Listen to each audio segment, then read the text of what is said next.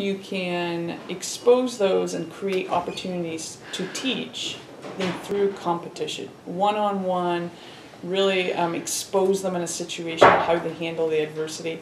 We find that too, your parents may not like that, a lot of parents don't, oh, well, they don't like getting beat, so I don't want them doing that, because I want them to keep coming back to the sport.